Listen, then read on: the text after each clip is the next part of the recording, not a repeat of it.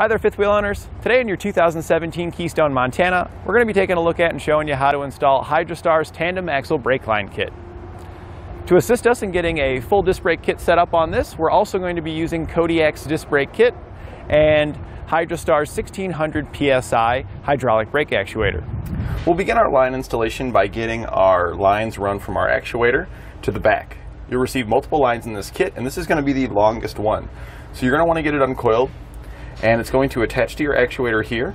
I'll show you how I got it inside just one second, but I want to show you where our end goal is and also how to tighten it down. I highly recommend that you use a line wrench when tightening these down, and all the ends on our lines are going to use a 3 8 inch size. A line wrench like this is going to have increased surface area so you don't strip it out. You can get it tighter and not have to worry about causing any damage to it. Whenever you're tightening it down, you do want to make sure you're holding the other side. So we're just going to hold with our wrench and just snug her on down. Once you get it nice and snug, you're good to go. We'll check for leaks at the end and, and snug them down more if we need to. But in most cases, if you got a line wrench, you can get it nice and tight with no issues. Our line goes down and then it goes out a hole that we had drilled right down there at the bottom. And then we are gonna head outside and start routing it towards the back. For reference, we are starting in our front compartment because that's where we mounted our actuator. This is where we pass through the hole that we had drilled and we come down you will notice there's a little piece of rubber here. This is just some rubber vacuum line that I had laying around. We do sell vacuum line here at eTrailer.com if you want to pick some up. It's great for wrapping around brake lines where there's any place where you're suspecting it might rub against metal and potentially cause an issue. So we just slit it to open it up and just wrap it around there. I use a little zip tie just to keep it wrapped around in place.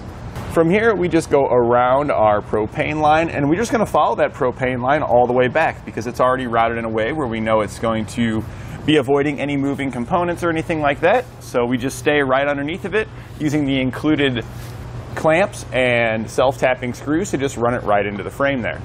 And we just continue following it along next to our propane line.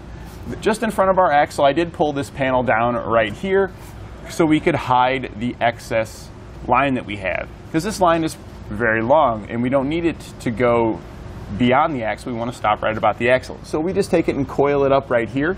Now in order to prevent any noise and to keep anything from rattling and touching one another, I did wrap vacuum line around these coils as well and secured it with a clamp and some zip ties.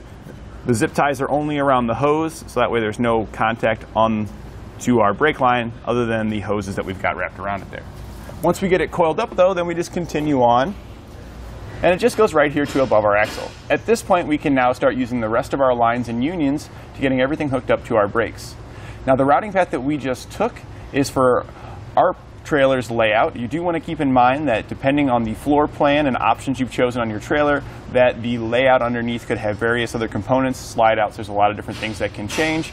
So your path might be slightly different coming back here. But once you get back here, we're going to use the same unions to get to the correct locations. So we're going to start with our four way split here. So we've got our main line going in. On the opposite side, we have a flex hose that goes, that goes down and will connect to our caliper. And we chose this one because we wanted the hose to be angled this direction because we're trying to keep the flex hose on the back side, on the inside of our leaf spring stack. When tightening down the flex hoses, they're going to use the same 3 8 line wrench.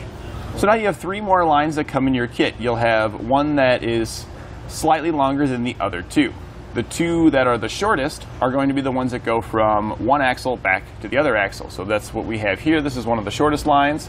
It just comes out the side and we route it back, just following this propane line once again. We did have to make a small loop right here just to get rid of some of the excess. And then it just uses the single union to connect to a brake hose to go there. When holding your unions, your T's, or anything like that, you'll use a half inch wrench to slide over the flat spots here so you can hold those when tightening them down. The line that's longer than the two short ones you get, the medium sized line, this is going to go across from one side to the other. And I just made a little slit in the panel here and just ran it over and then made a little slit on the other side where the line pops out. And over there, we're going to connect to a three-way. We again come off the back with our flex hose. It's going to go to the caliper, just like we did on the other side.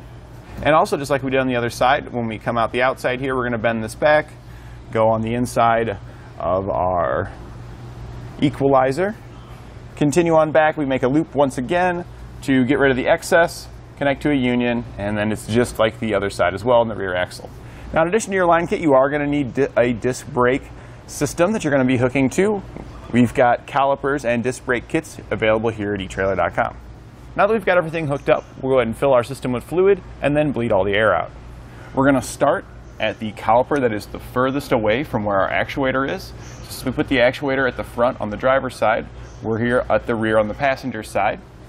And you want to use the top bleeder screw. Some of your kits that you get do have bottom bleeder screws. That's just because you can change the orientation depending upon the application for this caliper. Always use the top. To help minimize mess, we're just going to use a hose to direct the fluid down into a container. And then we'll need an assistant to either pull the breakaway switch pin or activate the brake controller to start pumping it. You want to make sure you've got the actuator filled with fluid, and you can use dot three or dot four brake, brake fluid. We're using dot three. All right, Shane.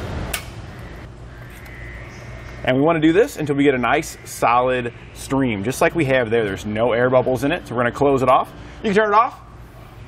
And we're going to just repeat this process at each wheel until we get a nice solid stream out of each one so we don't have any air in the system. After each time that you bleed some of the fluid through the system, you want to have your assistant just double check the reservoir to make sure that it's full because if you run it empty while bleeding, you have to start the process all over again. Now that we've got all the fluid bled out, we want to make sure that we don't have any leaks. To do this, we're just going to pull the breakaway switch pin. That's going to deadhead our pump, put it at the maximum pressure, and we're to check each of the unions and fittings to make sure that there's nothing leaking there. We'll start with our first connection here, nice and dry. So we're just going to move back and then check each individual one. Especially make sure to check the unions. That's usually the spot you're going to find leaks the most. But we're all dry, so we're all good to go. We can now reinstall our tires and start enjoying our new brake system. And that completes our installation of HydraStar's tandem axle brake line kit on our 2017 Keystone Montana.